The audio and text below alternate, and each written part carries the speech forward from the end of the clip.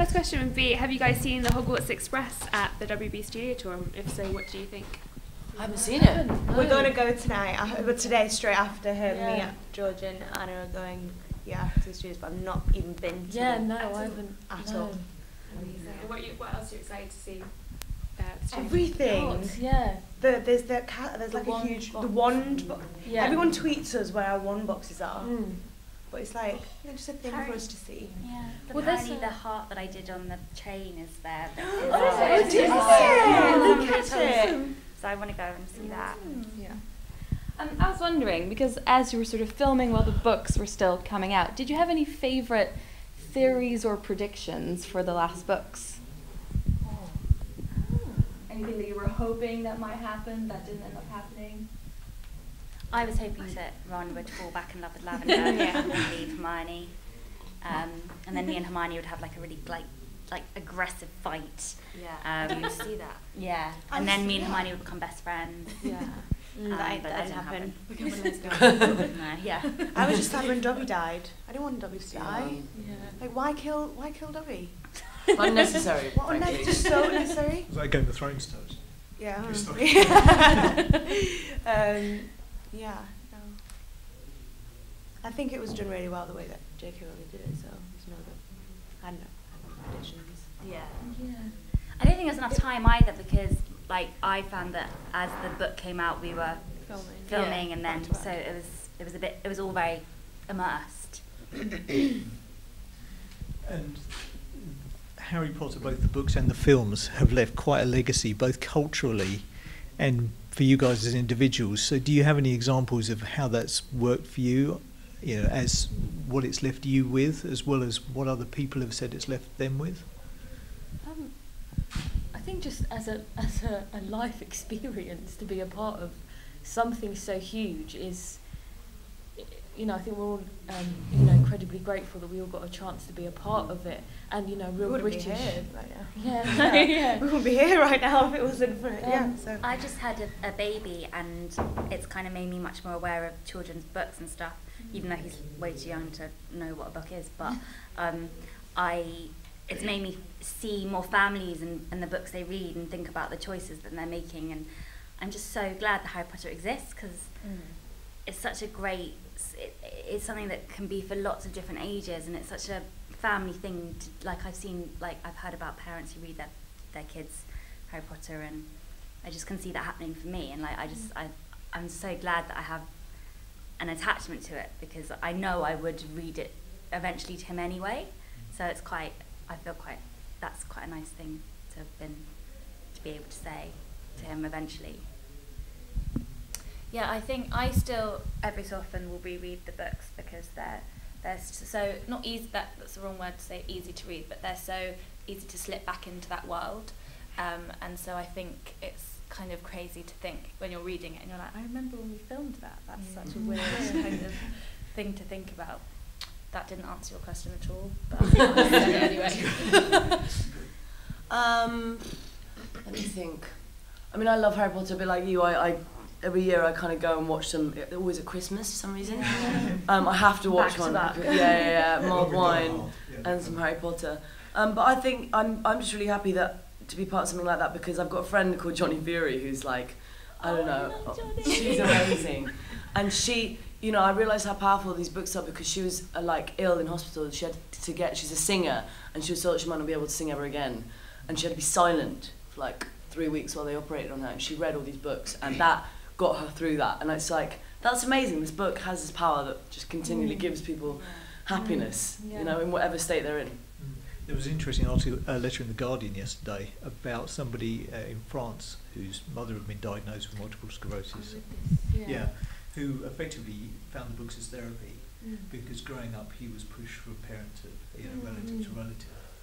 Um, uh, so, I, uh, do you hear any other stories from fans along It's a lot more than just a book. It seems, you know, it's people's people's have devoted their lives to Harry Yeah. Potter. You know, uh, when we would go out to Florida, we well, for me anyway, I'm sure around the world, the first time I see people who have really, what's the word? I don't even know the word. Like they're not obsessed, but it's, it's their life, you know, and it's it clearly touches people in different ways and, and, affects people in different ways. But I did a convention a couple of weeks ago in Cardiff, and um, it was so amazing the difference in why people were drawn to the book. So Yeah. there were a couple of girls who had come on a two-hour train ride to get there at the crack of dawn, and they'd moved on to this obsession to Harry Potter from Buffy. And it was like, and you could tell that Harry Potter was one of their fleeting. And they were going to go on to something else after, but at the, this phase in their lives, Harry Potter was their everything, and mm. this they, that gave them the drive to get up at the crack of dawn and get to this convention early. And mm. and then there was another guy who was carrying around his oxygen tank, kind of was clearly mm. very sick, but was there because he loved the people here so much, and he needed to see them. And it was nothing to him the fact that he had to carry around an oxygen tank. It was nothing to him that he got there really early. He just wanted to be there. And then there was a, a whole family of, of a mother of five kids, and they were all dressed up as Harry Potter characters. Mm. And the, there was like the youngest was about 18 months, and the oldest kid was about 11, and the family was there to be a Harry Potter family. And so like the complete contrast in why and in these fans, but they all Harry Potter was this thing that joined them all together. It was just really beautiful. I recently watched on YouTube the um, commencement speech that J.K. Rowling gives at um, mm. Harvard. And it kind of reminded me that at the core of the books, I guess, is just that simple idea that just be kind to people and mm. good will prevail over evil. Mm. but it's true, and it's such a nice message because it's so simple, and that's all you really need to tell your children. It's just be kind to other people, and it's kind of that's basically at the core of the books. I think. I like the theme that deals with, um, as a kid's book, it deals with death and loss. Yeah. I think that's massively important because, you know, some people get a pet. Um, and so that's a way of teaching children, you know, things don't last forever, things do die, this happens. How do you deal with loss? That's the next step. And I think that's massively important for kids to know. And I'd just like to ask as well, um, which Hogwarts house do you think you would be in if you had to get sorted? Um, I, I, I said the badger before, but I don't know what it's called. yeah, what, what, it, what, what, why would you go in Hufflepuff? Like, I know Gryffindor's... J.K. Rowling's favorite house? yeah, it It is? Okay, that one. is. no, but you said Badger. Oh, Isn't that Ravenclaw? No, is it yeah. Ravenclaw? I thought it was Ravenclaw. I So which one's Hufflepuff. Ravenclaw? Well, like, Eagle. Eagle, Yeah, yeah. Oh yeah, yeah. Yeah, so it's so yeah. I But don't know what- why I that bird symbol. Yeah, That's it's all I was- Hufflepuff. The That's people all I that go into Badger, What is that? you haven't- Hufflepuff. Yeah, yeah, but what? Loyalty. Loyal. Loyal. Yeah, done. I think that I would be Gryffindor, but then the second I got into boys, I'd be Slytherin.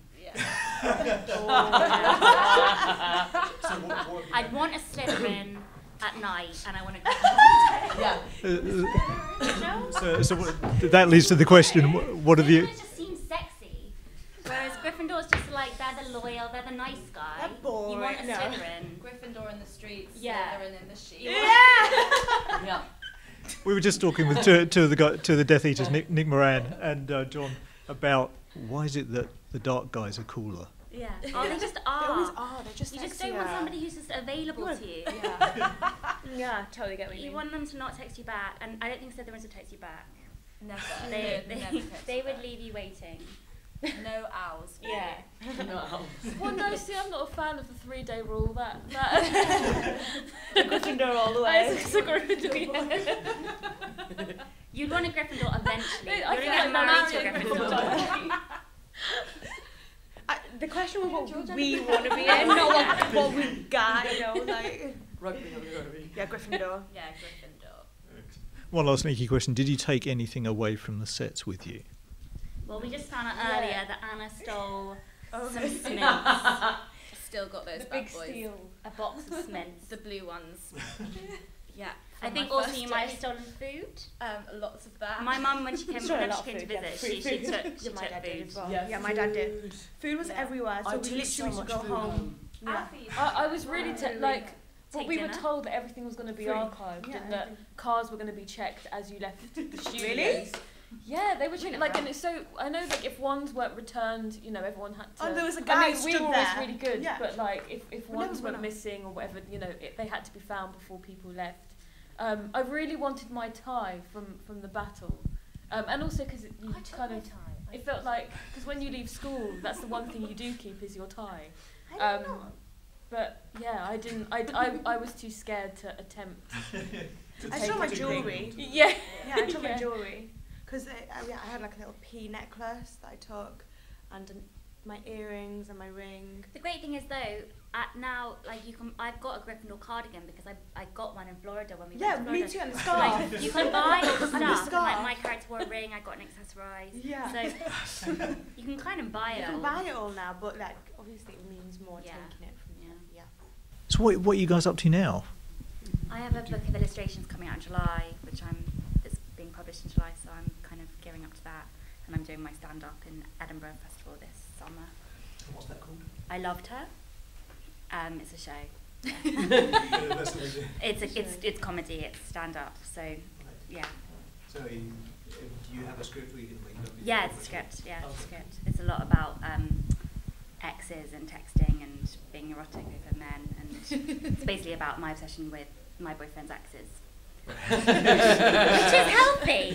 So um, it's a healthy show, a healthy, sane show.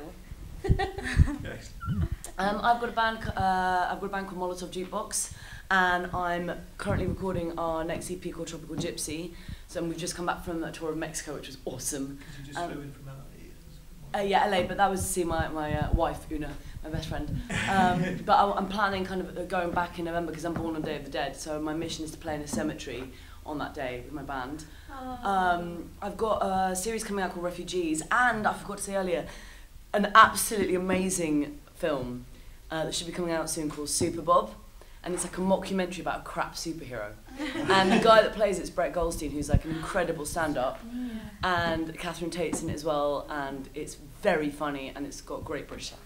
So when's that due out? I'm not sure, uh, probably July, June, I don't know. Soon. Just watch out for it. If it, if it comes over here, we'll have to see you there. Yeah, yeah, yeah. Keep eyes out. I'm loving life at home. I have a few things maybe coming up very soon, but I'm just loving life. I don't, yeah, seeing these girls here and there, and yeah, I yeah. And do you, do you meet up with each other? Do you see each other often? I haven't seen any of these people for ages. That's Yeah. what's cool about Yeah. conventions, that Yeah. you get Yeah. to see Yeah. everyone because we all have such different lives and Yeah. live in different places, and it's like, I was oh, just saying, like seeing everyone, I was actually getting quite upset. I was like, I miss filming. Um, I see Georgina and Anna a lot. Every time, like if they're in Manchester, I come up to London to see Mm. you guys. Saw you a few weeks ago, didn't Um, yeah, we keep in contact as much as we can. Thank God for social media. and um, yeah, yeah, because these are guys live in London and I'm from Manchester, so it's like me travelling, but I still make the effort.